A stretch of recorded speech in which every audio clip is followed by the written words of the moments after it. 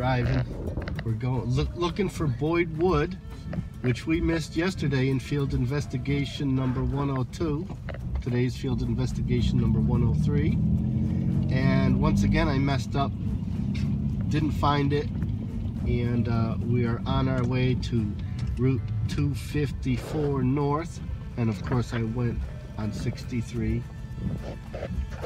And uh, so, yeah, that's it. Got a few tricks for you today. And I was asked a question, why do I pick these places um, that are sort of off the charts and not places that have like Dudley Town, people in Connecticut would know that. And uh, like I could go to Lake Waramaug where the Bigfoot sighting was a couple years back in December, right around Christmas. Um, because I just think if you get to these you know, if you're going to investigate, then go search for the, the evidence. Go look for it. Don't don't just chase reports. We love reports, but you know, find them where they are. So uh, this is again field investigation number 103, and we actually made it here to the Audubon here, the Audubon place, Boyd Wood. So it does exist. So there we are. We have concrete proof of Boyd Wood. It's real. It's not just a legend can uh, stop speculating.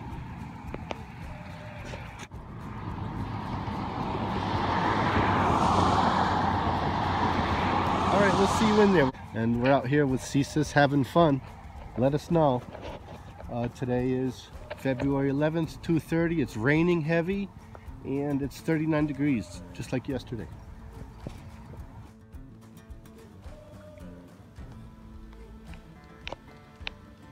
One thing's um, remarkable about this place is is sort of the opposite of yesterday. Uh, we got open fields and stretch lands. You got well-marked trails. It's Audubon. Um, the birds are just everywhere. And uh, I have a couple tricks and we'll go down and try it a little further down. Uh, we got open fields here and farmland back there and then these thickets here. Wild roses and blackberry bushes. A lot of food. I mean, obviously a lot of lot of food here because there's a lot of birds. Right here, we have these game trails, and everything's all these everything's pushed down this way. And uh, big deer, possibly bear coming through here. Look at this wide, almost as wide as my load-bearing hips here and uh, something big moving along here, moving along the stone wall. It's create, again, kind of like the river, natural uh, flow of movement and easy navigation. All right, see you down there. Uh, huge animal tracks here. I mean, just huge. Man, that goes way down. Uh, again, you know, these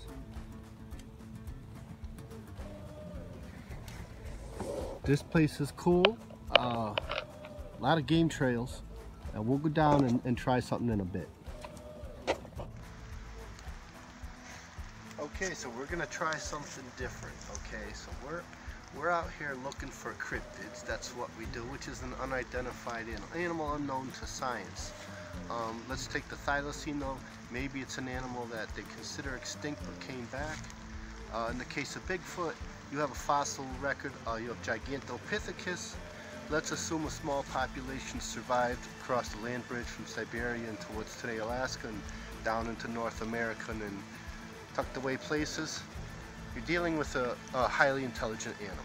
Okay, let's just go with that premise. So you want to try different things. They live out here, far more adapt to this than you will ever hope to be. Uh, if you see them, they're aware of you well before you are of them. So we're gonna try something different. Do you hear that? And have fun with it, right?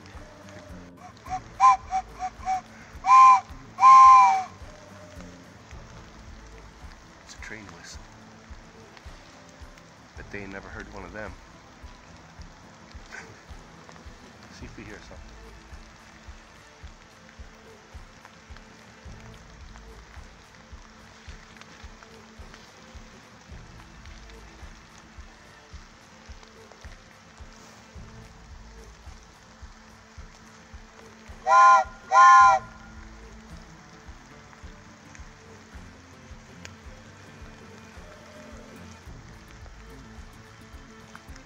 So Boyd Woods has a lot more sounds um, than the, the last place.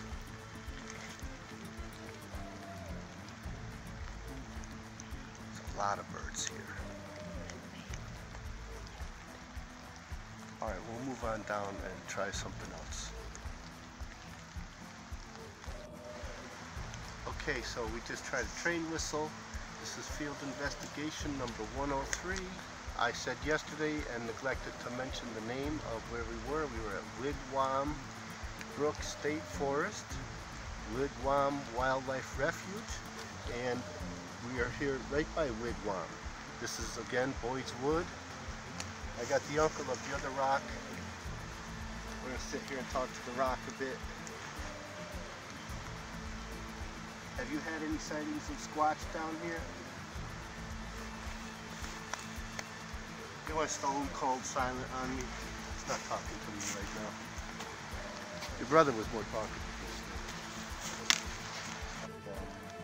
Bird noises here. There's hickory and butternut all over the, uh, the, the floor of the forest here.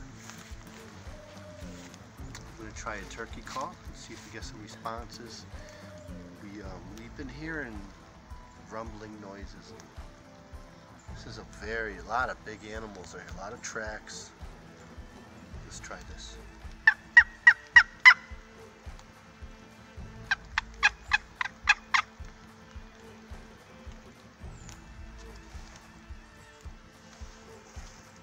Birds definitely like it. And there are, there are cryptids of very large birds. I've had a first-hand experience with one in Maine. Talking the size of hang gliders.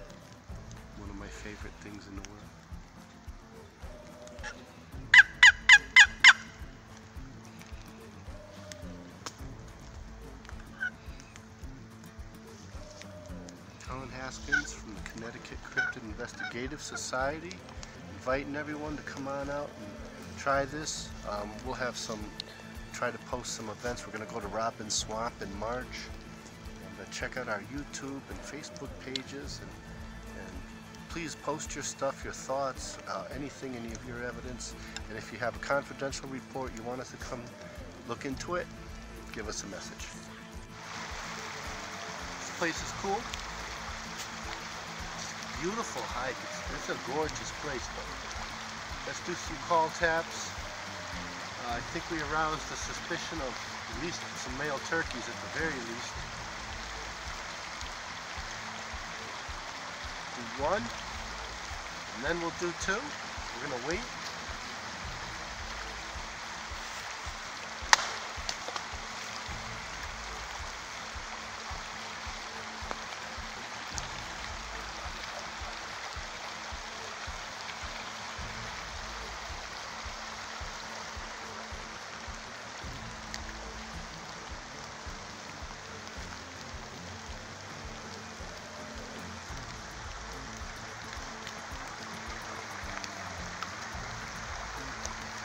I'm gonna do two.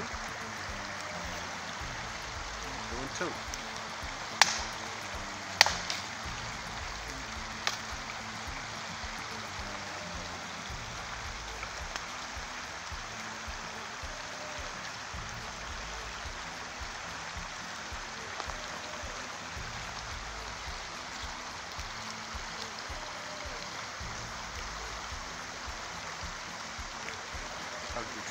Just hit it?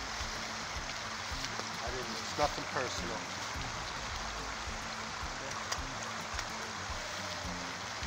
Moving on. Boyd Woods, awesome place. So when you're out investigating, you're just out there in these, not, you know, sort of unpopular places. It's not, a state park. Um, you come across something like this. Look at this. Just the whole top of this tree blown in half. Bent over. It's got to be a good 60 foot. Just humongous. Incredible sight. We're out here looking for cryptids. Uh, just, you know, just to go to different places and see what's out there for yourself. Um, give us your reports. Let us know if you've had any encounters. We'll come check it out. But we're here today. Boyd Woods, loving it. It's a great place. Check it out yourself. Okay, so myself and the team have been out here a couple days now waiting for this bus to come by, and, and I don't think it's coming. I just don't think the bus is coming. What do you think? Yeah, oh, we're just to move on. Bus isn't coming today, or yesterday, or any other day. Make sure you read the fine print in the brochure before you, you come to Boyd Wood. And I was not even sure it existed because I couldn't find it twice. But we're here. But the buses definitely aren't running right through here. Um, check the internet, we'll find out where they are running for you next time. 45 degrees, it's 4 o'clock. Um, we're back at the beginning of the parking lot, obviously can hear. We picked up our pamphlet, and of course the copy of, uh, a copy of Chickadee Chatter. It wouldn't be complete without Chickadee Chatter. It's a nice place. It's got the maps here. We did this one along the conifer plantation and the early successional trees, and we came along uh, Wigwam Brook down this way and we're back we came up this end here we are back there uh, there's all this that we haven't checked out looks really nice um, but here we are again watch out for Lyme disease. This is a nice little little information booth. And uh, we are here. I don't know why I'm here but no dogs are allowed but here I am wet golden retriever that I am. Um, I'm gonna give this uh, on the squatchometer um, we're going to give Wigwam Brook Wildlife Sanctuary and Forest that we were at yesterday about a 3.5 out of 5. Wigwam Brook. And I'm going to give uh, Boyd's Woods, unfortunately, a 2.2 because it just wasn't squatchy. What it is, is there's a lot of birds. They have bird feeders throughout this whole place. So if you like birds, if you're into ornithology instead of zoology, um, uh, cryptozoology, this is your place to come. This is this is the birdiest, most avian place that I've ever been to. Um, got hiking sticks here, and of, of course, get your donation bin. Um, Boyd's Wood, I, very nice, beautiful, well-maintained trails. Um, just not very squatchy, but we're here with CCIS on location.